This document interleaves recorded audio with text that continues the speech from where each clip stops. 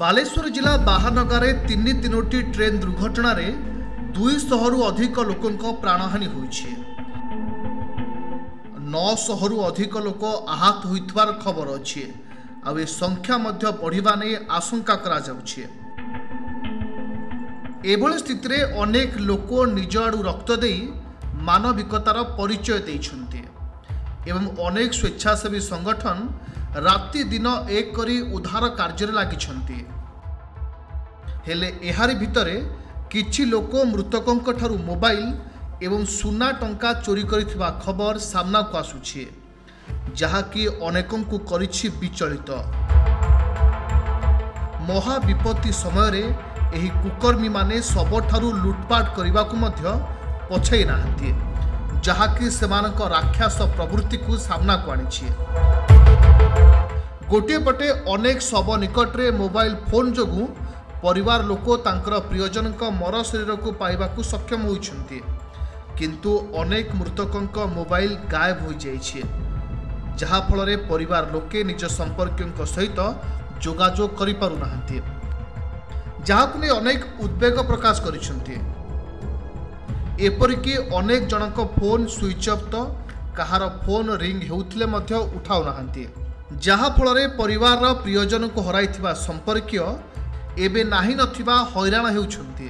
କେବଳ mobile phone ନୁହେଁ ଏଭଳି ଚିତ୍ର ସାମ୍ନାକୁ ଆସୁଛି ଯାହା ଆପଣଙ୍କୁ ବିଚଳିତ କରିବ।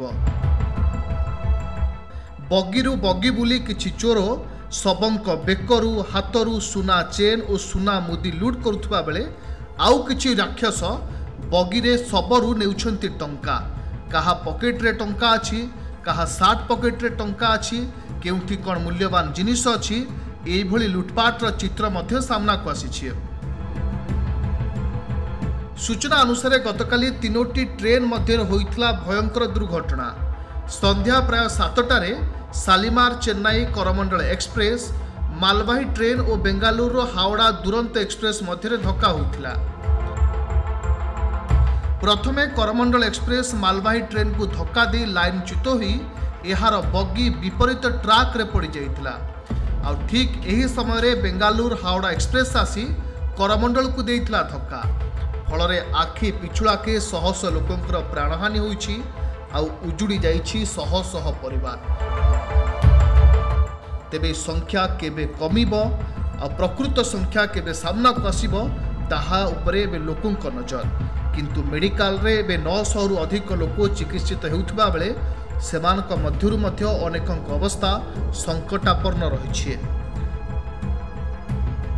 ଆଜି ମୁଖ୍ୟମନ୍ତ୍ରୀ ପ୍ରଧାନମନ୍ତ୍ରୀ କେନ୍ଦ୍ର ରେଳମନ୍ତ୍ରୀ ଏବଂ ପଶ୍ଚିମବଙ୍ଗ ମୁଖ୍ୟମନ୍ତ୍ରୀ ମମତା ବାନାର୍ଜୀ ଘଟଣାସ୍ଥଳ ପରିଦର୍ଶନ କରିଛନ୍ତି ଏବଂ ସ୍ଥିତିର ସମୀକ୍ଷା କରିଛନ୍ତି।